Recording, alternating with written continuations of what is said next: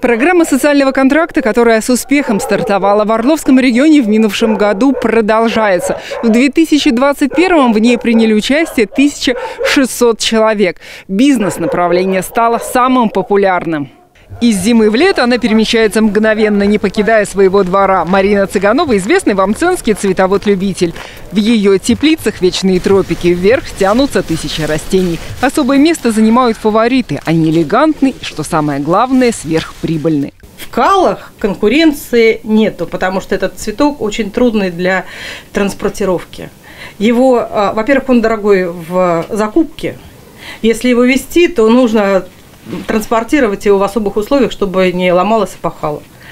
Раньше Марина трудилась в пенсионном фонде, однако по семейным обстоятельствам работу пришлось оставить, а после трудоустраивать себя самолично. Так получилось, что третий ребенок у нас проблемный проблемы со здоровьем. И пришлось сесть дома и заниматься чем-то около дома.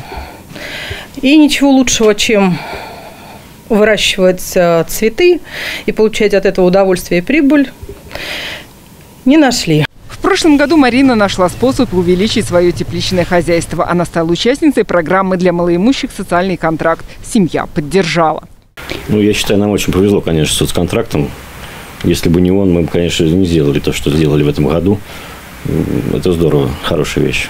Марина получила от государства 250 тысяч рублей на развитие дела и расширила свой бизнес. Вот это помещение было реконструировано за счет средств социального контракта, которые мы получили осенью прошлого года. Были подняты стены, утепли... поставлено отопление и посажены тюльпаны. К концу февраля 20 сортов тюльпанов будут цвести и благоухать. Ее коллега по цветоводству Евгения Рыжкова готовится к сезону тюльпанов. Новый урожай станет первым после заключения социального контракта.